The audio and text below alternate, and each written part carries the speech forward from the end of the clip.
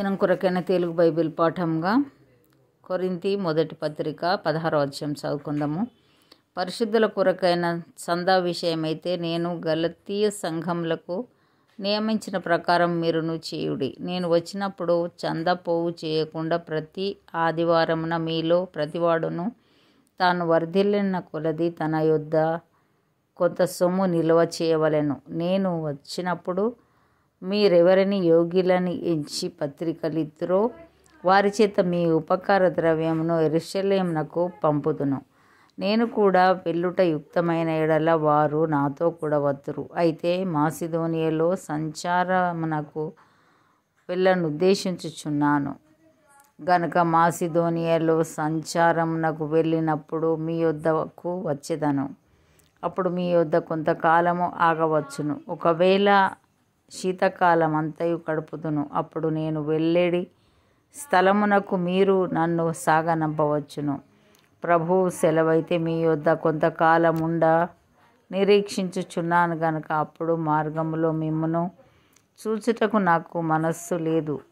కార్యానుకూలమైన మంచి సమయము నాకు ప్రాప్తి ప్రాప్తించి ఉన్నది మరియు ఎదిరించువారు. అనేకులు ఉన్నారు గనుక పెంతకోస్తు వరకు ఎఫెస్లో నిలిచి ఉందును తిమోతి వచ్చిన ఎడలా అతడు మీ యొద్ద నిర్భయుడై ఉండునట్లు చూచుకొనుడి. వారి వలనే నా వలనే అతడు ప్రభు పని చేయుచున్నాడు. కనుక ఎవడైనా అతనిని ధృవీకరింపవద్దు. నా యుద్ధకు వచ్చుటకు అతనిని సమాధానంతో సాగనంపుడి. అతడు సహోదరులతో కూడా వచ్చునని ఎదురుచూచుచున్నాను. సహోదరుడైన అపోల్లోను గూర్చిన సంగతి ఏమనగా అతడి సహోదరులతో కూడా మీ యొద్దకు వెళ్ళవలెనని నేను అతని చాలా బతుమాలు కొంటిని కానీ ఇప్పుడు వచ్చుటకు అతనికి ఎంత మాత్రమును మనస్సు లేదు. వీలైనప్పుడు అతడు వీలైనప్పుడు అతడు వచ్చును. మెలకుగా ఉండుడి. విశ్వాసమందు నిలకడగా ఉండుడి.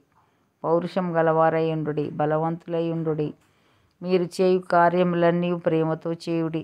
స్టెఫెను ఇంటివారు అకాయ యొక్క ప్రథమ ఫలమై ఉన్నారని వారు పరిశుద్ధులకు పరిచర్య చేయుటకు తమ్మును తాము అప్పగించుకొని ఉన్నారని మీకు తెలియను. కాబట్టి సహోదరులారా అట్టి వారికి నీ పనిలో సహాయం చేయుచు ప్రయాసపడుచు ఉండు.